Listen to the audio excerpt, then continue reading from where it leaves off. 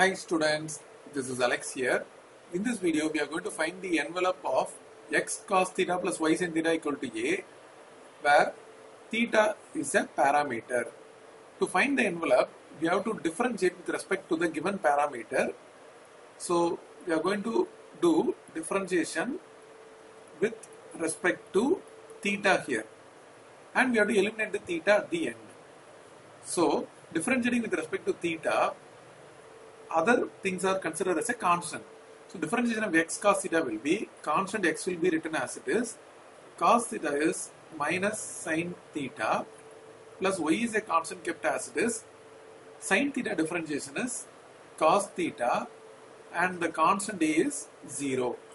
Now we shall take this term to the other side.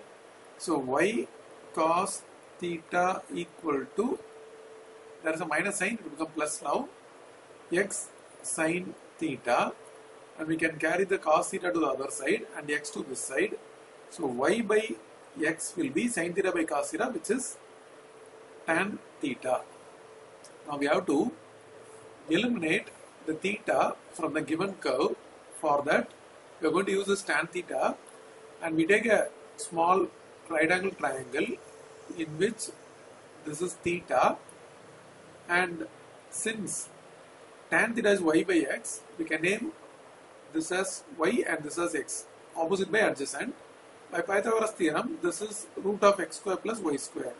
So I can get the value of sine theta from this, which is opposite by hypotenuse, and the value of cos theta, which is adjacent by hypotenuse.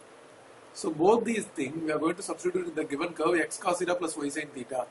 So x cos theta into x by root of x square plus y square plus y into sin theta which is y by root of x square plus y square equal to a. Now this is x square and y square we have a common denominator root of x square plus y square equal to a. We can cancel this. We get root of x square plus y square equal to a because this is power 1 and this is power half.